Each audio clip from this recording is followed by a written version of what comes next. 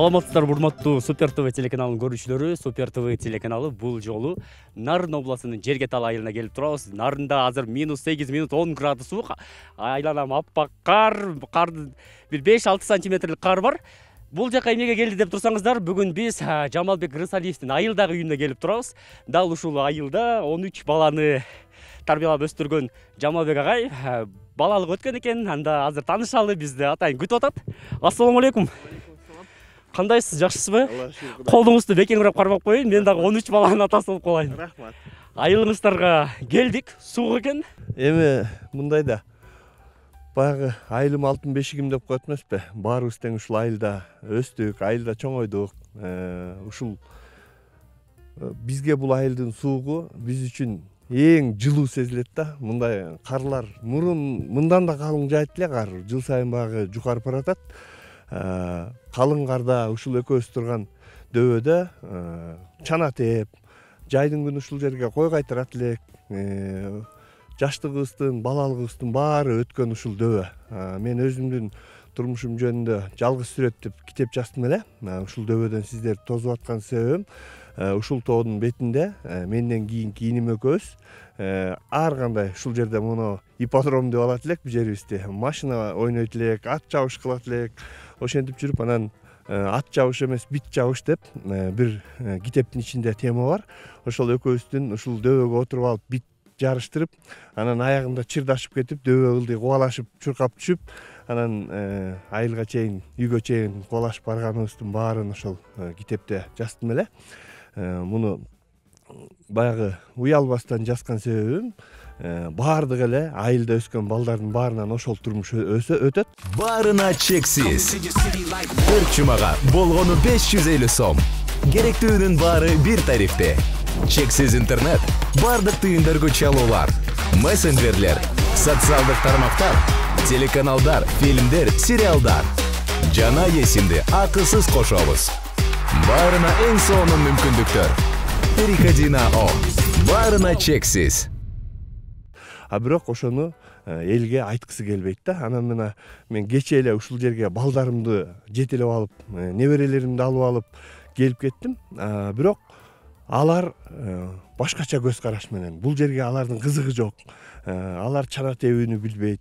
Алар мисалы мал кайтарган жок. Мен үчүн болсо бул жердин ар бир ташы дагы өсүп турган шыбагы дагы ушул коңур дөбө деп коет айылдын дагы ушул тоону ушул коңур дөбөнүн э, бетиндеги эле эмес жалпы? Айылдын баардык жердеги мышыгы асмандагы чымчыгы да кымбат сезилет да. Жамалбек бакежан сөзүңүздүн башында айтып калып айылда бит жарыштырчык депчи ошол кезде ошо ссср доорунда көп эле балдардын баштары биттеп кетип ушундай болчу эле го анан кимдин бити көбүнчө жеңип алчу эле бул эми э, баягы балалыкта балалыкта эми баягы э, иним экөөбүз айтып атпаймынбы Э, бит жарыштырып отуруп анан кийин аныкы меникинен ашып кетип анан ошондон чыр чыккан да. Анан чыр чыгып бул меники болчу деп мен баштап анан экөөбүз ошо ушундай көп э, кызыктуу күндөрдү өткөзөт элек Э, анан э, негизгисинен алганда ошол сссрдин доорунда ошол учурдагы балдардын тарбиясы э, азыркы учурга караганда алда канча жогору турат эле да. Себеби азыр балдарыбыздын баарын энеси эмес планшет тарбиялап атат да телефонду алат. Э, баласы ыйлап атса да телефонду коюп берет да карматып коет бизде телефон деген жок. Андай телевизордо баягы э, сени бий шашпа деген мультфильм менен эле том и жерден башка жыргаткан деле мындай мультфильм жок эле. Э, анан кийин э, көп учурда биздин балалыгыбызда эмес ушул биз көргөн нерселердин баарын азыркы балдар көрбөй бизчелик түйшүк тартпай суу ташып келүү жок кой кайтаруу жок жанагы айылдын түйшүгүндөгү айылда туруп азыр айылдын түйшүгүн көргөн бала жок да ошондуктан уже баягы э, дубайдын принци айтканы бар го азыркы. Ошол э, менин аталарым төө менен э, төө минип келген болсо менин балдарым мерседес минип атат. Ал эми менин неберелерим чөбүрөлөрүм э, төө минип калышы мүмкүн. Анткени себеби булар жеңил жашоого көнүп алды депчи ошол сыяктуу биздин дагы кудай куткулсун бирок жеңил жашоо деген менен балдарыбызды ушул көбүрөөк айылга алып келип айыл менен аралаштырып баягы тарбиясына көңүл бөлүүгө аракет кылбасак э, бир коом деградацияга учурап баратат деп э, ойлойм да. Орусиядагы kg недвижимость турак жай агенттиги аркылуу үйлүү болгондордун саны сегиз жүздөн ашты. Сиз да дал ошол бактылуу мекендештерибиздин катарына кошулуңуз келеби анда самара нарматованын kg недвижимость турак жай агенттигине кайрылыңыз. Анткени аталган агенттик сиз кыргызстандын же орусиянын жараны болосузбу айырмасы жок орусиянын бүткүл аймагынан ипотекага баштапкы төлөмсүз үй алууга көмөктөшөт а баса kg недвижимость агенттигинде азыр сонун акция жүрүүдө аталган компания менен эки миң жыйырма үчүнчү жылдын жыйырманчы октябрынан он тогузунчу ноябрына чейин келишим түзгөндөрдүн арасынан эки кардардын чыгымдарын kg недвижимость турак жай агенттиги өз колуна алат. Алар агенттиктин кызмат акысы камсыздандыруу баалоо жана мамлекеттик пошлина. Андыктан эгер үй алам деп жүргөн болсоңуз ушул убакытта кайрылып көрүңүз.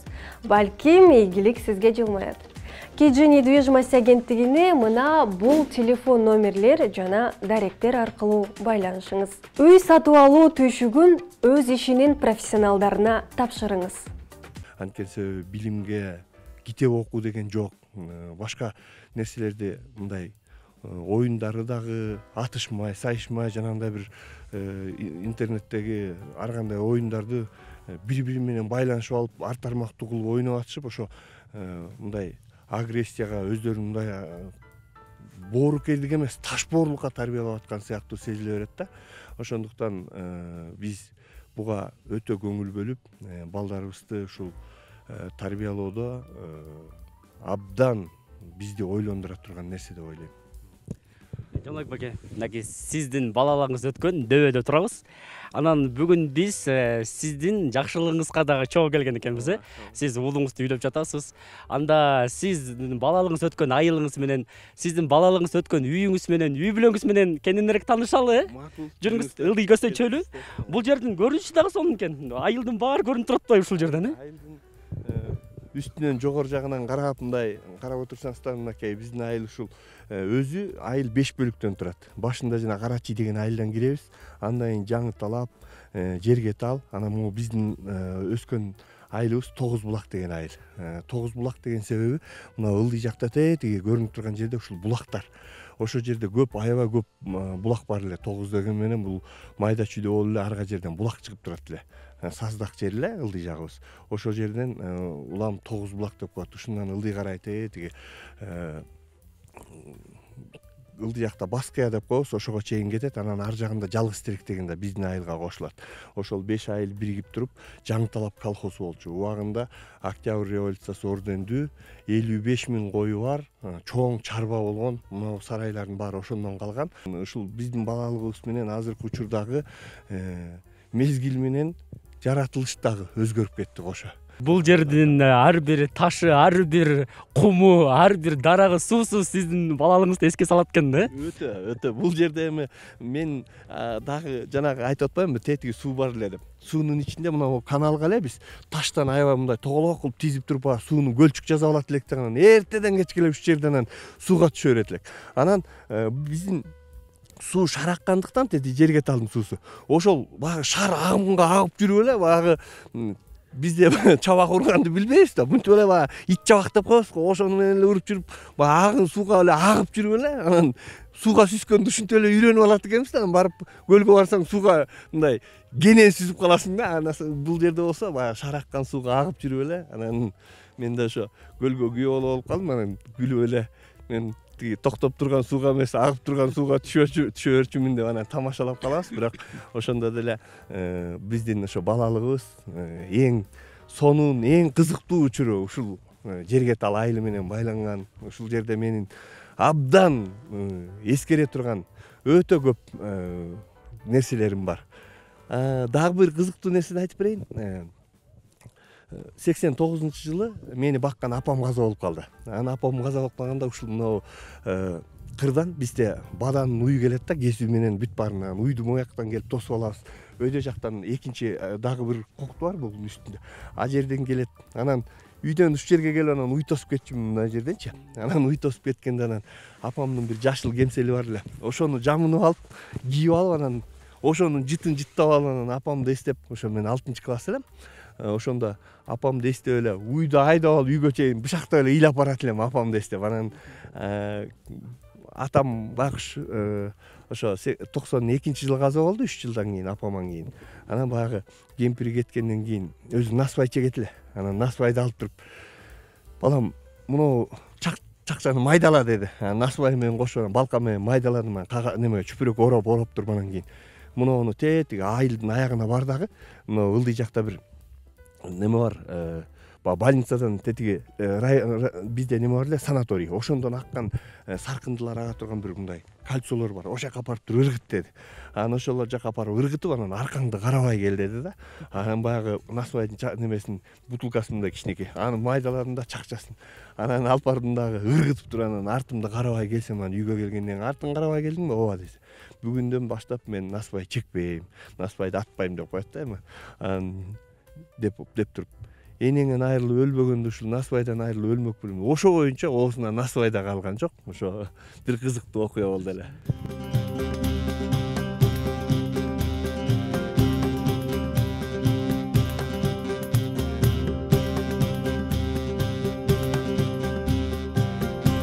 бул жерде жанагы ошол э, бит жарыш деп айтып өтпөдүмбү бит жарыштырып балалыгыбыздын баары өткөн менден кийин эки жаш кичүү иним бар эле. Эми кудайдын буйругу экен. Ошол эки миң он биринчи жылы э, айылдан эле авария болуп ошо э, трактор менен каза болуп калды. Азыр артында төрт баласы бар үч кыз бир эркеги. Ошол инимдин мүрзөсү мунун ар жагында болсо ошол өзүмдүн атам самарбек. Ошонун мүрзөсү э, мүмкүн болсо эми ушунча келгенден кийин бул балалыкты эстеп атабыз ушуларды эстеп аткандан кийин кичине куран окуп коелу э мына бул жерде болсо могу ырсаалы уулу самарбек деген менин атам кырк сегизинчи жылкы болчу эки миң он төртүнчү жылы он үчүнчү августта ошол инимен кийин эле кичине өзүнө келе албай жүрдү окшойт баягы ооруп ошо боорунан анан ошо каза болуп калды ошо أعوذ بالله من الشيطان الرجيم. بسم الله الرحمن الرحيم. الله لا إله إلا هو.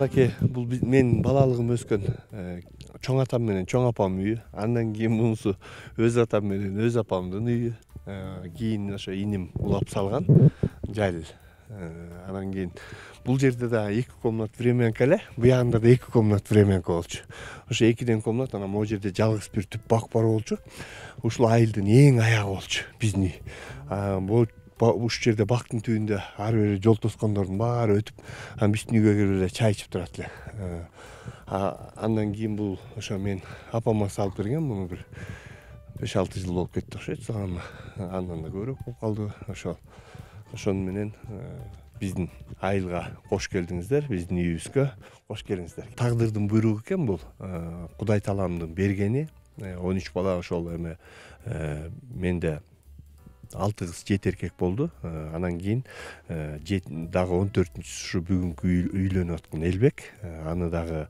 баягы мен беловодскийдеги балдар үйүнөн алгам ошону үйлөнтүп жайлантып ал бүгүн кудай буюрса ошонун кичинекей Э, тоюна күбө болуп ошол жаңы алган келиндин колунан чай ичесиздер. Э, он үч бала деп кудай таалам он төртүнчү кылып элбекти бергенине шүгүр санын дагы айткым келбейт. Дагы берсе дагы шүгүр дейм. Э, эч качан мындай баягы баланын саны менен айтып мактангым да келбейт. Ошол эле учурда эң кыргызстандагы эң бай адаммын деп эсептейм өзүмдү. Анткени себеби гектарлаган талаа эмес ошол артыңда эчиген артыңда калган ошол балдарың менен байсың да ошондуктан мен баарына кайрылат элем кыргыз элиме кайрылат элем жаштарга кайрылат элем. Ушул э, эч качан ушу балдарыбызды таштабай э, кудай тааланын берген ошол белегин э, шүгүр кылып ошого рахмат айтып кабыл алып турсак абдан жакшы болот. Мен мисалы баса белгилеп айтып кете алам мен документ менен да текшерсе болот ошол он үч баламдын бирөөнө дагы мамлекеттен бир сом пособие алып көргөн эмесмин баке азыр багып алдым деп калдыңыз сиз буга чейин биздин каналга берген маегиңизде он үч балаңыз бар болчу. Бүгүнкү күндө ошол он төрт балаңыз болуп ошол балаңызды үйлөндүрүп той берип аткан турбайсызбы ошондо балдарыңыздын канчасы өзүңүздүн каныңыздан жаралган бала канчасын багып алгансыз он үчү өзүмдүн каныман жаралган он төртүнчүсү ушул элбек бирок баягы э, бала э, тапкандыкы эмес баккандыкы дейт. Мен муну өзүмдүн баламдай көрүп эле ошол жумуштан суранып алып келип ушинтип э, дүңгүрөтө той берип айлды чыкырып тайымды союп ушинтип аткан себебим бул менин балдарымдын катарында өзүн эч качан кемсеспесин ошолордун катарында болуп эле өзүмдү кошо биз менен менин акыл насаатымды угуп мен көргөзгөн жолду көрүп ошону турмушун түздөп жакшы жашап кетсе деген тилегим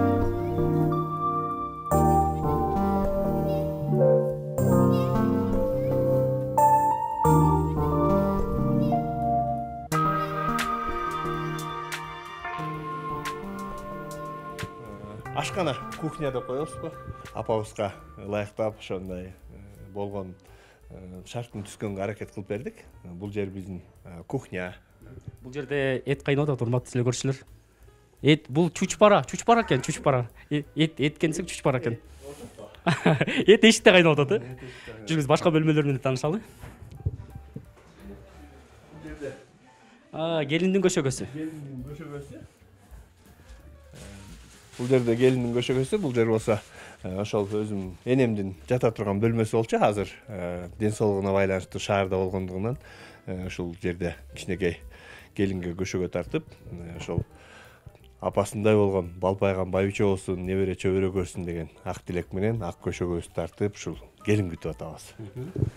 Кийинки бөлмөлөрдү көрөлү бул эми экинчи кабатка көтөрүлүп аткан жер. Бул жерде болсо ошол атайын тепкичти болсо бишкектен жасатып келгем ошол жерден келип усталар жасаган бул экинчи кабатка көтөрүлүп аткан жерибиз атайын буйрутма менен жасалган тепкич экен да э анан бул жерде болсо кыргыз үй деп коебуз нарында билесиздер эт тартабыз да этти этти тартканда ошол жерге тартабыз мен өзү негизи бала кезимден бир кызык окуяны айтып өтөйүн алты жашыма тамга таанытышып анан ошол атам сокур киши болчу деп жана айтып өтпөдүмбү ошол атам манас китебин алып сагынбай орозбаковдун бир көк манасы бар эле ичинде герценин сүрөттөрү менен шөкөттөлгөн.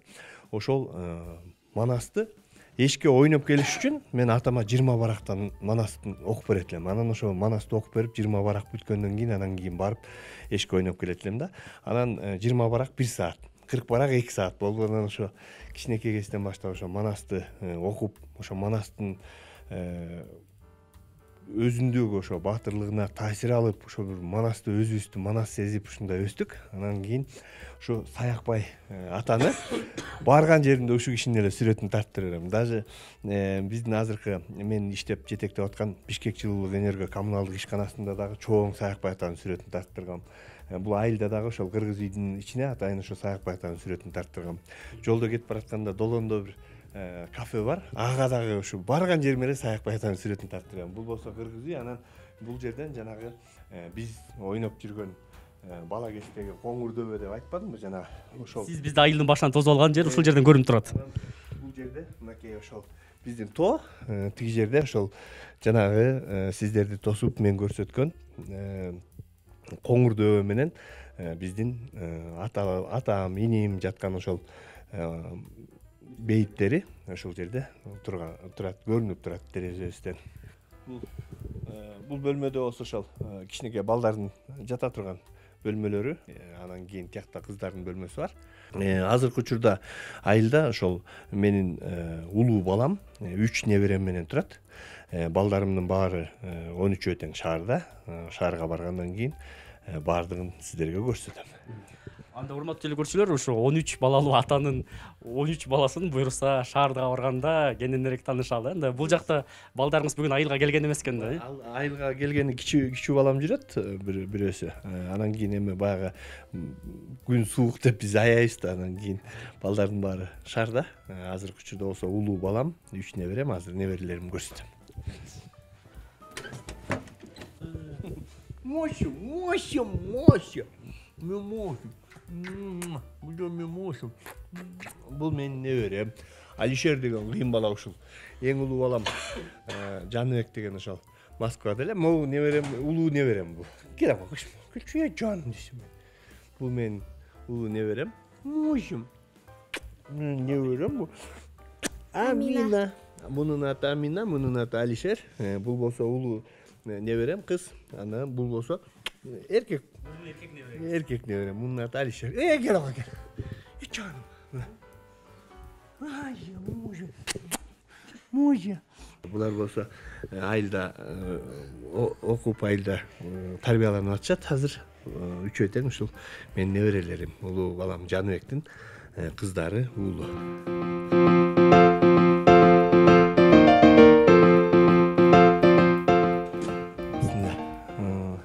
бул болсо балдардын бөлмөсү уктоочу детский деп коебу бул күн чыкканда бул бөлмөгө тийип турат турбайбы чыкканда бул бөлмөгө тиет бул жерде менин неберелерим э, ушул жерде жатышат эшикте суук болсо дагы үйдүн айнектерин ачып коюпсуздар эми э, бул баягы күн өстүү болгондуктан күн бияктан тийгендиктен аябай ысып кетет бияктан бул бөлмө чындап чындап жылуу экен күн күн жылуу болгондуктан ушу ысып кетет ошого эшиктерин терезелерин ачып койсо эми кыштын күнү дагы неме да? Э, нарында өзү э, ушул э, үйлөрдү жылуулап жылуулап жакшы кармабаса чынында кышында суук болуп калат.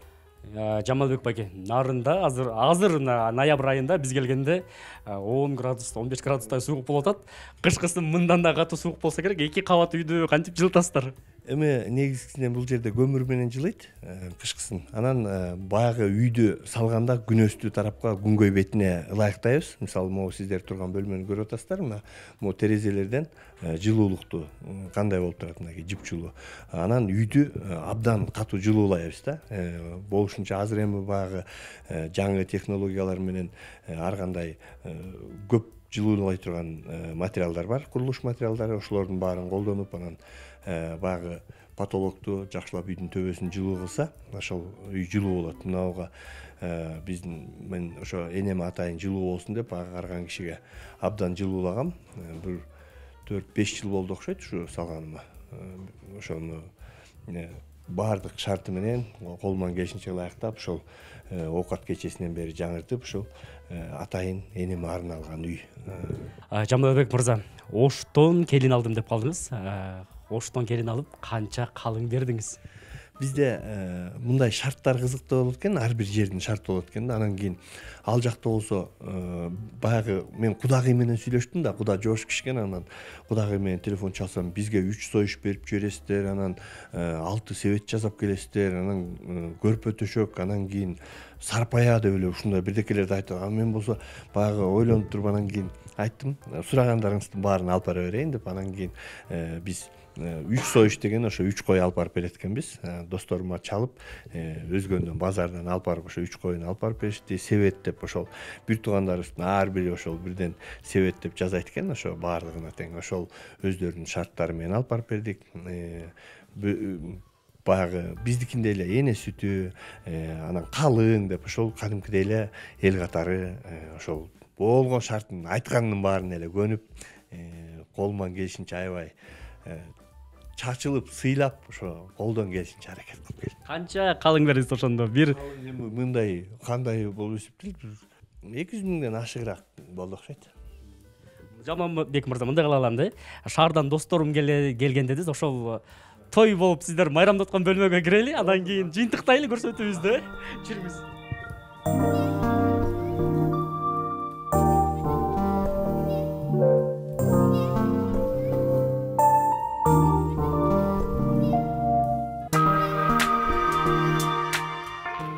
бул жакта болсо менин досторум отурат Шаардан келген коноктор, э? шаардан келген коноктор ассалому алейкум кандайсыздар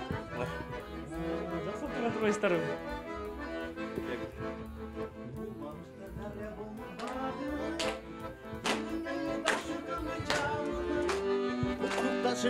Aylardını öpütün Toy baştaldı, toy baştaldı, toy.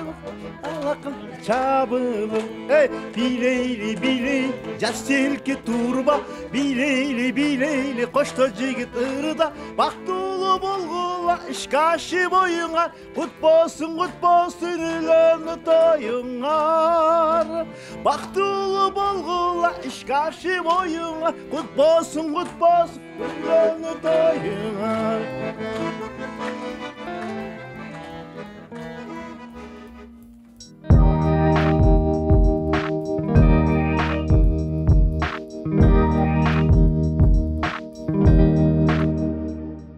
келинибизди чакырып койгулачы ырымдап ак жоолугубузду салып коелу келе кой келгиле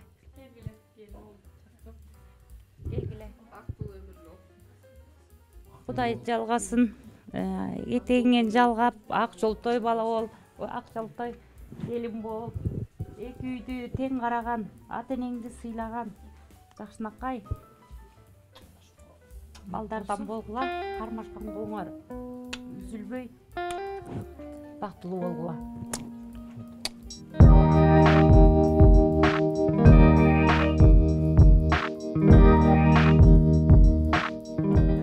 келин алып колуңузду узарып эле сүйүнүп атсаңыз керек э эми ке- ке- келин алган жакшы да абдан сүйүнүүчү эми колубуз узарып сүйүнүүчү койнубузга батпай атат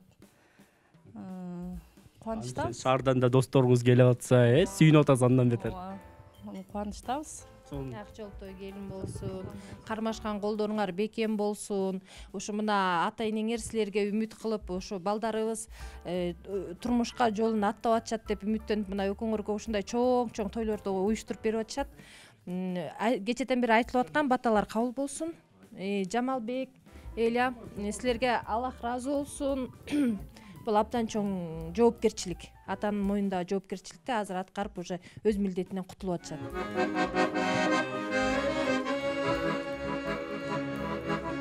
Ала тоодон арытылып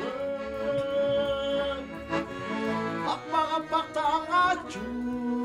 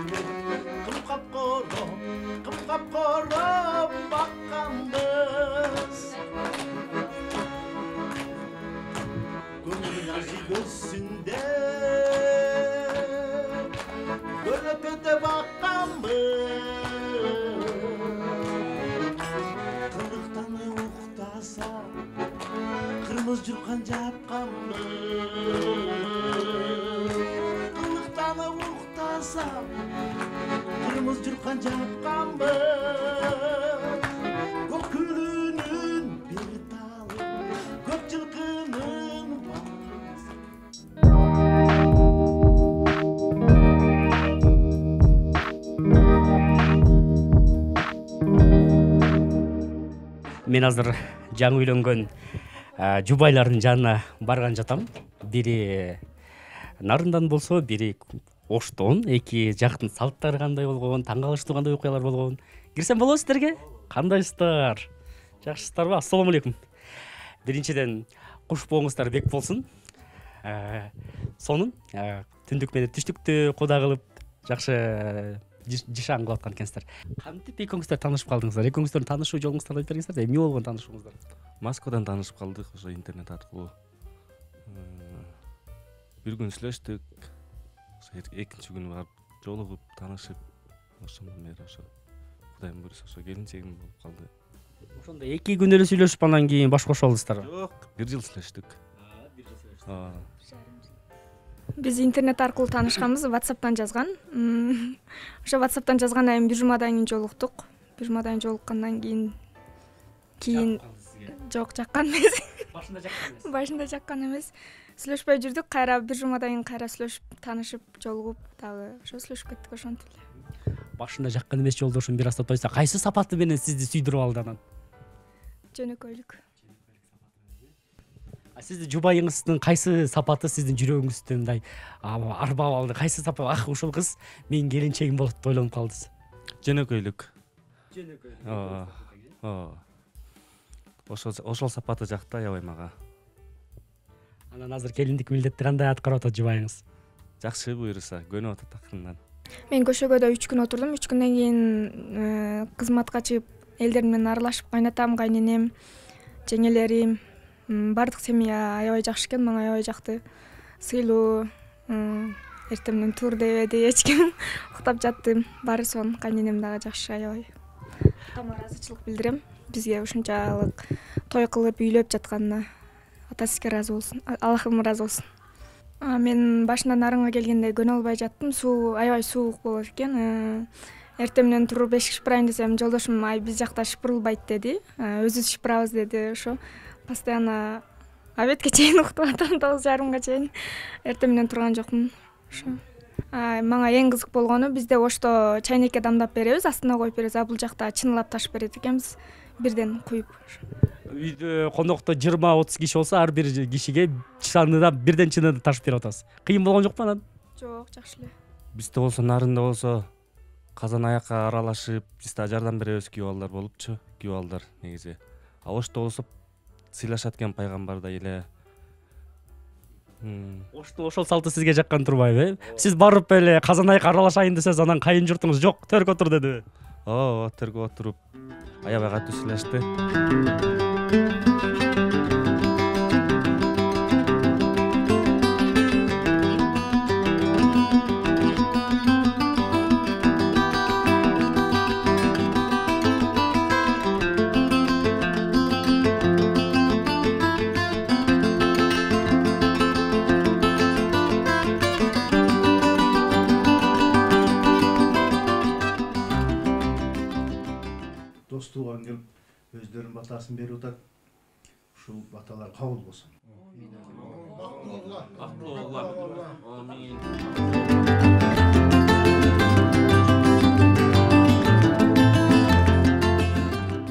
Жамалдин байке мына э, сиздин үйүңүз менен тааныштык үй бүлөңүз менен тааныштык эми биз борборду көздөй жөнөйлү рахмат. Жолуңуздар шыдыр болсун келгениңиздерге терең ыраазычылык чоң рахмат. Э, ушундай бир жакшы кабарды эл менен тең бөлүшөлү деп э, элдерге бир позитив тартуулайлы деп келген ошол супер твнын жалпы жамаатына ийгилик Э, ар дайым ишиңер ийгиликтүү болсун Э, элибизге жерибизге бир жакшы маанай тартуулаган э, жакшы жаңылыктарды алып чыккан алдыңкы өлкөдөгү э, каналдардан болсун. Чындыгында мен силер менен кызматташып ушул силерге ар дайым өзүмдүн пикиримди силер аркылуу элге жеткизип атканыма абдан кубанычтамын. Э, баарыңарга терең ыраазычылык. Жолуңар сизге дагы биз дагы нардын сууна көнүп калдык. Эки күндүн